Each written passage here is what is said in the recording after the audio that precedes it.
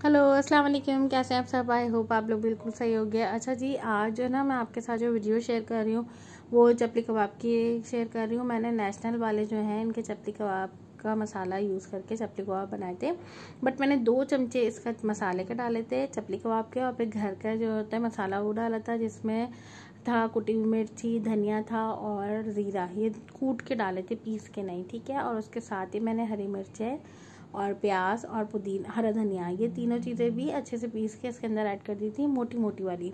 दो घंटे के लिए, दो से तीन घंटे के लिए इसको मैरिनेट करके रख लिया था। मैंने कहा, चलें साथ ही, हरे मसाले की मैं चटनी भी तैयार कर लूँ। तो मैंने पुदीना, हरा धनिया, हरी मिर्च, ज़ीरा, लहसुन, ये सब डाल के जो हम नॉर्मली चटनी बनाते हैं, मैंने वो चटनी बनाई साथ ही।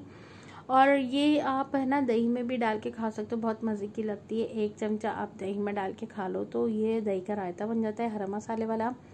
अच्छा लगता है इसके साथ। अच्छा दो घंटे जो है ना, वो मैरिनेट हुए हुए रखे थे। इसके साथ ही मैंने थोड़ा सा ऑयल भी इसके अंदर ऐड कर लिया था। ऑयल से ज़रा एक अच्छा सा ग्रेसी लुक आ जाता है। फिर मैंने इसके अंदर क्या करा चॉप करके अंडे की तरह जो होते हैं ना बारीक बारीक टमाटर, अंडे वाला, यानी अंडे वाली प्याज जो हम नहीं करते वैसी वाली चॉप करके मैंने टमाटर इसके अंदर ऐड कर दिए थे।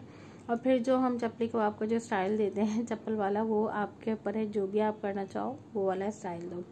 मैंने यहाँ चपली का फ्राई करके साइड में रखना शुरू कर दिया था। हस्बैंड है ना, मैं उनको कह रही थी, चले आप गरम गरम खा लें साथ ही ना, मैंने कहा था कैचअप भी है। हम लोग चली गार्लिक कैचअप जो है, वो ज़्यादा शौक से खाते हैं तो मैंने कहा, चलें कैचअप है। और मैंने साथ ही ना इसके साथ दही का भी है ना, वो बना के रख दिया था। मैंने कहा था, अगर दिल करेगा तो दही का रायता भी बना लेंगे। इसके अंदर हरा मसाला डाल के वो दही का रायता बन जाएगा। थोड़ी सी मैंने अनियन कट कर लिया था। और फिर हम लोग इसके साथ जो है ना बारीक वाली वर्क वाली जो चपाती नहीं होती, वो वाली चपाती मंगाते हैं। उसके साथ बहुत ही मज़े के लगते हैं, यमी लगते हैं। और हानि जो है, वो इसके साथ वो पूरी पराठा, वो शौक से खाती हैं तो हम कुछ पूरी पराठा मंगा लेते हैं, कुछ वो मंगवा लेते हैं। पहले मेरे हस्बैंड को था ना, चपली कबाब इतने अच्छे नहीं लगते थे, वो ज़्यादातर सीख कबाब खाते थे। बट अब उनको पता नहीं क्या हो गया, अब वो नहीं खाते सीख कबाब। अब उनको चपली कबाब ज़्यादा मज़े के लगते हैं तो और मैं भी ना चपली कबाब ज़्यादा शौक से खाती हूँ सीख कबाब के बने से ना तो हमने कहा, चलो, फिर अब हम ज़्यादातर ना चपली कबाब बनाने लग गए। तो अभी मैं हस्बैंड को मैं यही कही थी मैंने कहा गरम गरम बन रहे हैं, आप कैचअप से खा रहे तो वो कहेंगे, नहीं, साथ ही खाएँगे।